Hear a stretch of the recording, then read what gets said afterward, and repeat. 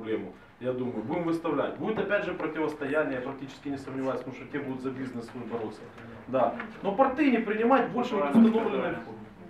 И все. Потому что получается, что порты зарабатывают, а мы все разгребаем, я извиняюсь за выражение. Ну, Мы такое решение принять не можем, оно должно быть понятийным.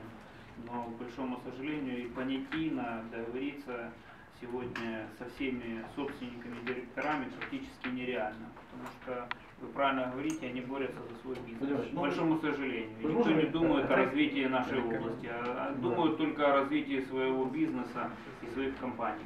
Точка.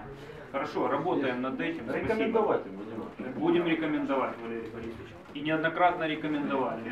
Пожалуйста. Можно